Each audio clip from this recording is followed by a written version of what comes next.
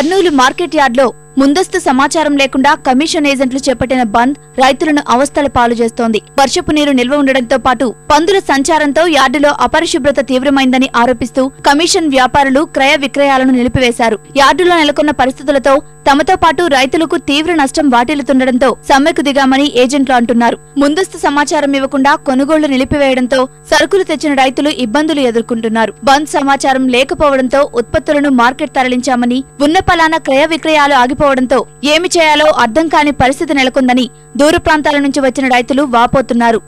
మేము ఇక్కడికి మార్కెట్కి వచ్చాను సరుకు తీసుకుని ఆంధ్రాలు మాకు బంధం తెలిసింటే మేము నిన్నే ఇంటికాడ ఉంటున్నా ఇక్కడికి వచ్చినాక బంధం తెలిసింది. మాకు లారీ ఖర్చు ఆరు వేలు అయింది కనీసం.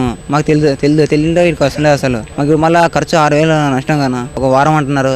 అది ఎండు గురించే తెలియదు ఇక్కడ మీరు వచ్చి ఇక్కడ ఒక వారం ఉండాలంటే ఇబ్బంది అవుతుంది మాకు ఇక్కడ ముందాలే ఒక అనుకుంటే ఇవ్వాల ఇబ్బంది అని ఇటుకు వచ్చిన తర్వాత బంద్ అంటే రైతులు ఇబ్బంది పడరు. సరికి ఆడిపోతాం ఇటుకు వచ్చినాక ఎన్నుకోవాలంటే మళ్ళీ మాకు పోయే కారు వచ్చే కారు పదహైదు వేలు నష్టం అవుతుందన్న ముందస్తు సమాచారం లేకుండా కమిషన్ ఏజెంట్లు బంద్ పాటించడంపై అధికారులు మండిపడుతున్నారు. రైతులకు నష్టం కలిగేలా వ్యవహరించిన వారిపై నిబంధనలను అనుసరించి తగిన చర్యలు తీసుకుంటామని మార్కెట్ అధికారులు తెలిపారు.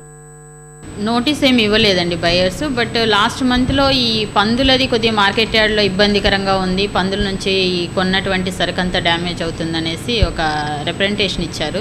ఎన్ని రోజులు అనేది కూడా లేదండి. వాళ్ళు చెప్పే వాదన బట్టి చూస్తే ఈ పందులు ఉన్నంత వరకు మేము రాయలేం మేడం అనే వర్షంలో ఉన్నారు. రైతులకు ఇబ్బంది కలిగే విధంగా ఉంటే కంపల్సరీ చర్య తీసుకుంటాం. మీరు తీసుకోకుండా వదిలేదేం లేదు. ఇచ్చినాడు అంటే ఇక్కడ అమ్ముకొని పోవాలి. అమ్ముకోకుండా ఇక్కడ స్టే చేయలేడు కదా. ఫార్మర్ వెయిట్ చేసి వాళ్ళ కోసం స్ట్రైకులు వీటికి అవసరం లేదు. అదే మాకు ప్రయర్ నోటీస్ ఇచ్చినారంటే దానికి ముందే మేము ప్రికాషన్స్ తీసుకుంటాం.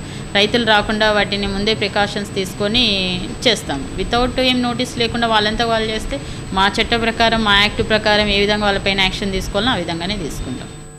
బంద్ ఎన్ని రోజులన్న దానిపై స్పష్టత లేదు. దీంతో ఖరీఫ్ పెట్టుబడుల తొందరతో రైతులు యార్డుకు సరుకు తరలించి అవస్థలు పడాల్సి వస్తోంది.